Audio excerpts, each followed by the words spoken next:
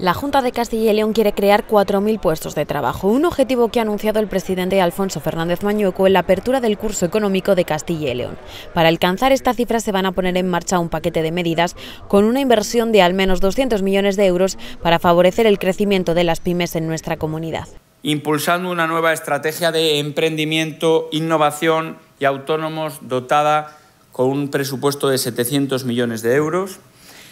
es también un compromiso poner en marcha cuanto antes la extensión de la tarifa plana para nuevos autónomos, implicando con el resto de administraciones públicas, organizaciones y las distintas entidades necesarias para que esto sea una realidad. En este sentido, la Mesa del Autónomo se reunirá en las próximas fechas para concretar las líneas directrices de todas las actuaciones.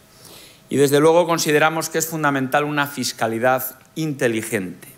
Fernández Mañuco quiere que este sea un gobierno transformador y ha aludido también a un nuevo modelo productivo que sitúe a Castilla y León a la vanguardia de la nueva sociedad del conocimiento, aunque ha recordado que nuestro país necesita con urgencia estabilidad política y una reforma de la financiación autonómica.